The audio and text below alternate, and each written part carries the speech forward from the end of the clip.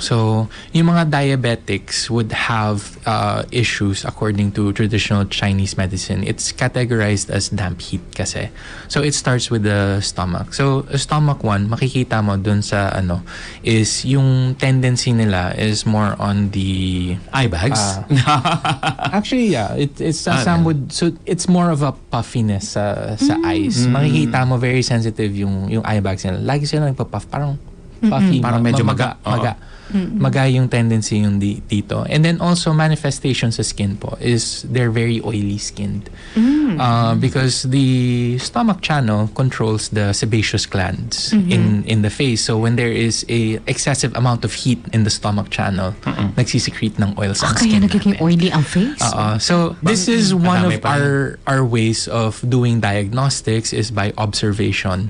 Uh, if the skin is dry, if the skin is ano, it tells us Oily. basically uh, which organ is not functioning correctly in Ah, may accordance pa pala, to oo. the symptoms. So let's say for example, dry yung scalp, oily yung scalp, or meron itching.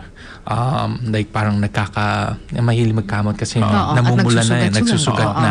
So these are all signs and symptoms for us um, depending on the functionality of every organ Symptoms na pala yun. Pero for an ordinary person, Akala mo skin ako. lang. Ganun lang. Oo. Allergy lang ako.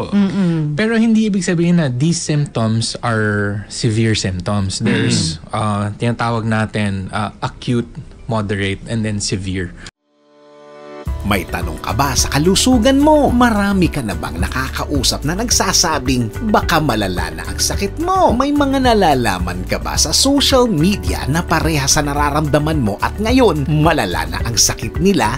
Naku, ang dami nang namamatay sa maling akala. Eksperto dapat ang pinakikinggan mo. Tutukan ang DWIZ Manila at lahat ng D WIZ sa buong Pilipinas. Kasama ang social media ng DWIZ at manood syempre sa Aliw 23 Free TV. Manood, makinig at i-follow ang DOH Department of Health programang malaking help sa health. Kasama sina Maru Pahati Sarne at si Bragi Braganza. Kasama ang mga totoong eksperto para tama ang impormasyong makuha mo.